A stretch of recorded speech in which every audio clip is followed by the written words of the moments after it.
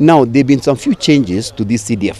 And one of the changes is that there will be uh, constituencies that are going to receive a little bit more than other constituencies. 75% of the CDF fund available, it, it will be shared equally.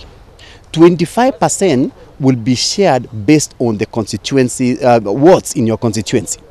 For example, Mosop, we have seven constituency, uh, seven, one, one constituency, but seven wards.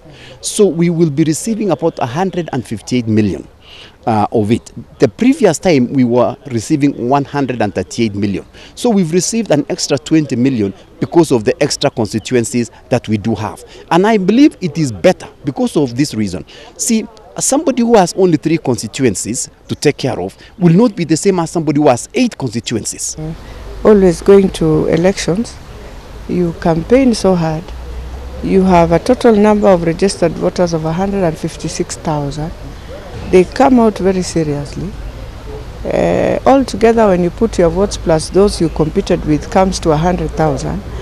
And you expect somebody who has won with 5,000, and I'm not saying in a bad way, but then when it comes now to distribution of everything, you want equal. It is wrong. You are not even equal in the beginning of when we were campaigning. So why would we be equal again? The only thing that I like about and that is important in Parliament is that there must be that equity. Yeah, that you must ensure every uh, area people appreciate what we are doing. Yeah, I believe it's fair.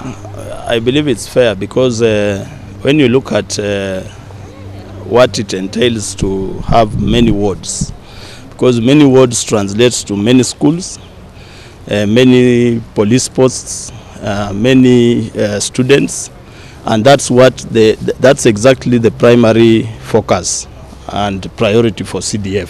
Therefore, if someone has three wards and may have five wards, you can't say that we will have the same backlog. The backlog with the five wards is more than the three wards. It is all right because based on uh, what we have been going through, there are so many big constituencies uh, with eight wards, and they are equally getting the same amount. And uh, that one was quite discriminatory. Although we are going to look at the number of things, let us not look only on ward. Uh, the number of words but also the number of institutions we have had in, the, in those constituencies because uh, some words are too small with lesser population.